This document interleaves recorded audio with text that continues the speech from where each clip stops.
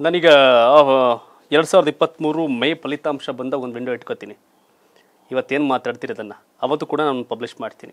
ನೀವು ಎರಡು ಸಾವಿರದ ಇಪ್ಪತ್ತ್ಮೂರರ ಫಲಿತಾಂಶ ನಾಗಮಂಗ್ಲದ ಏನಾಗಿರುತ್ತೆ ಅಂತ ಹೇಳ್ತೀರಿ? ಜನ ಕೇಳೋದಾದ ಎರಡು ಸಾವಿರದ ಇಪ್ಪತ್ತ್ಮೂರು ಫಲಿತಾಂಶ ಹಿಂಗಾಗತ್ತೆ ನಾನು ಮಾಡ್ತೀನಿ ಅಂತ. ಆಮೇಲೆ ಹೇಳ್ತೀನಿ ಕೇಳಿ. ಹ್ಮ್. ಏನೇನೂ ಆಗ್ತಾ ಇಲ್ಲ. ನಾನು ಇದ್ದಾಗ ವಿಶೇಷ ಹಣ ತಂದು ಅದ್ರಲ್ಲೂ ಲೆಕ್ಕಕ್ಕೆ ಇರ್ಲಿಲ್ಲ ಬಿಡಿ. ಇವತ್ತು ಒಂದೊಂದು ಸಾವಿರ ಕೋಟಿ ಬರುತ್ತೆ ಸ್ವಾಮಿ ಒಂದು ವರ್ಷಕ್ಕೆ. ಒಂದು ಸಾವಿರ ಕೋಟಿ ಒಂದು ತಾಲೂಕಿಗೆ ಸರ್ ನಾಲ್ಕು ಲಕ್ಷ ಕೋಟಿ ಬರ್ತಾ ಇದೆ ವರಮಾನ. ಒಂದು ಲಕ್ಷ ಕೋಟಿ ತೆಗಿರಿ. ಯಾವುದಕ್ಕೆ? ಸಂಬಳ ಸಾರಿಗೆ. ತಿನ್ನೋರು ಮಾಡೋರು ಎಲ್ಲ ಹತ್ಕುವೆ ಇನ್ನು ಮೂರು ಲಕ್ಷ ಕೋಟಿ ಲೆಕ್ಕ ಹಾಕಿ.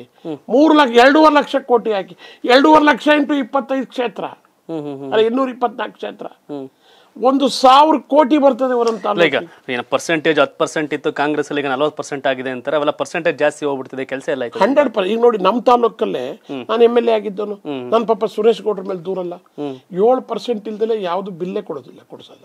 ತುಂಬಾ ಕಡಿಮೆ ಇದೆ ಹೆಂಗಾರೆ ನಿಮ್ಮಲ್ಲಿ? ಅಲ್ಲಿ ಸ್ವಲ್ಪ ಕಡಿಮೆ ಇದೆ. ನೀವು ಇದೊಂದು ರಿಯಾಲಿಟಿ ಚೆಕ್ ಮಾಡಬೇಕು. ಏಳು ನಾನು ಹೇಳೋದು ಸರಿಯಾ ಇಲ್ವಾ ಅಂತ. ಏಳು ಪರ್ಸೆಂಟ್ ಇಲ್ದಲೆ ಕೆಲಸ ಎಲ್ಲ ಇಂಜಿನಿಯರ್ ಅಂತ ಗುತ್ತಿಗೆ ತಗೊಂಡ್ಬಿಟ್ಟಿರ್ತಾರೆ ಅವ್ರೆ. ಒಂದು ಕಂಪನಿ ಮಾಡ್ಕೊಂಡ್ಬಿಟ್ಟಿದ್ದಾರೆ ಏಳೆಂಟು ಜನದ ಹೆಸರಿಗೆ ತಗೊಂಡ್ಬಿಡ್ತಾರೆ ತಗೊಂಡ್ಬಿಟ್ಟು ಎಲ್ಲ ಸಣ್ಣ ಸಣ್ಣರಿಗೆ ಬರ್ಕೊಡ್ತಾರೆ. ಏಳು ಪರ್ಸೆಂಟ್ ಕೊಟ್ರೇನೆ ಅವ್ರು ದುಡ್ಡು ಬಿಡುಗಡೆ ಮಾಡೋದು ಕೆಲಸ ಕೊಡೋದು. ಹಿಂದೆ ಏನಾಗುತ್ತೆ ಆಗ್ಲಿ ಹೇಳಿದ್ರಿ ನನ್ನ ಬಗ್ಗೆ ಕೆಲವರೆಲ್ಲ ಒಂಥರ ಕೆಟ್ಟದಾಗಿ ಇದು ಮಾಡ್ಬಿಟ್ಟಿದ್ದಾರೆ ಪ್ರೊಜೆಕ್ಟ್ ಮಾಡ್ಬಿಟ್ಟಿದ್ದಾರೆ. ಏನೂ ಮಾಡೋಕ್ಕಾಗಲ್ಲ ಅದನ್ನೇನು ಬದಲಾಯಿಸೋಕ್ಕಾಗಲ್ಲ ಅವ್ರ ಮನಸ್ಥಿತಿ ಹಂಗಿರುತ್ತೆ. ಆದರೆ ಇವತ್ತಿನ ನೀವು ಮುಂದೆ ಹೋಗ್ತಿದ್ದೀರಿ ಈಗಾಗಲೇ ಕ್ಷೇತ್ರಕ್ಕೆ ಹೋಗ್ತಿದ್ದೀರಿ ರೌಂಡ್ಸ್ ಹಾಕ್ತಿದ್ದೀರಿ ಮತ್ತೊಂದು ರೌಂಡ್ಸ್ ಹಾಕ್ಬೇಕಾದ್ರೆ ಬನ್ನಿ ಶಿವು ಅಂತ ಕರಿತಾ ಇದ್ದೀರಿ. ಡೆಫಿನೆಟ್ಲಿ ಬರ್ತೀನಿ. ಈಗ ನೀವು ಜನರ ಮುಂದೆ ಹೇಳೋದಾದರೆ ಒಂದು ಲೈನಲ್ಲಿ ನೀವು ಹೇಳೋದಾದ್ರೆ ನಾಗಮಂಗಲದ ಜನಕ್ಕೆ ಏನು ಹೇಳ್ತಿರ್ತಾವು?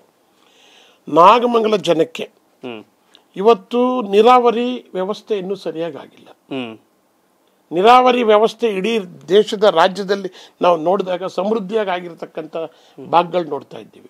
ನಾಗಮಂಗಲ ತಾಲೂಕಿನಲ್ಲಿ ಎರಡು ಮೂರು ಹೋಬಳಿ ಐದು ಆರು ಹೋಬಳಿಗಳಿದ್ದಾವೆ. ಆರು ಹೋಬಳಿನಲ್ಲಿ ಐದು ಹೋಬಳಿಗಳು ಸಂಪತ್ ಸಂಪದ್ಭರಿತವಾಗಿರ್ತಕ್ಕಂಥ ಜಿಲ್ಲೆಗಳ ಹೋಬಳಿಗಳಾಗಬೇಕಾಗಿತ್ತು. ಏನೂ ಆಗ್ತಾ ಇಲ್ಲ. ಬರೀ ಕಾಂಟ್ರಾಕ್ಟರ್ ಜೀವನಕ್ಕೋಸ್ಕರ ವ್ಯವಹಾರ ಮಾಡ್ಕೊಂಡು ಹೋಗ್ತಾ ಇರ್ತಕ್ಕಂಥ ಕೆಲಸಗಳಾಗಿದ್ದಾವೆ. ಪರ್ಮನೆಂಟ್ ಆಗಿ ಎಲ್ಲೇ ಎಲ್ಲಾ ಕೆರೆಗಳಿಗೂ ನೀರು ತುಂಬಬೇಕು. ಲಿಫ್ಟ್ ಇರಿಗೇಷನ್ಗಳು ಮಾಡ್ಬೇಕು. ಎಲ್ಲಿ ಮಾಡ್ಬೇಕು? ಅಲ್ಲಿ ಲಿಫ್ಟ್ ಇರಿಗೇಷನ್ ಮಾಡಬೇಕು. ಹೇಮಾವತಿ ಗೊರೂರು ನಮ್ಗೆ ಇರ್ತಕ್ಕಂಥದ್ದು ಕೇವಲ ಅರವತ್ತು ಕಿಲೋಮೀಟರ್ ದೂರದಲ್ಲಿ ಇರ್ತಕ್ಕಂಥದ್ದು ಇವತ್ತು ನೀವು ತುಮಕೂರು ಜಿಲ್ಲೆಗೆ ಹೋಗಿ ಎಲ್ಲ ಊರುಗಳು ಇವತ್ತು ಕುಡಿಯೋ ನೀರಿನ ನೀರಿನ ವ್ಯವಸ್ಥೆ ಆಗಿದೆ. ಇವತ್ತು ನಾಗಮಂಗಲ ತಾಲೂಕಲ್ಲಿ ಡ್ರೈ ಬರೀ ರೋ ಒಣ ಕಾಲುವೆಗಳು ನೋಡ್ತೀವಿ. ನೀರಾವರಿ ಆಗ್ತಾ ಇಲ್ಲ.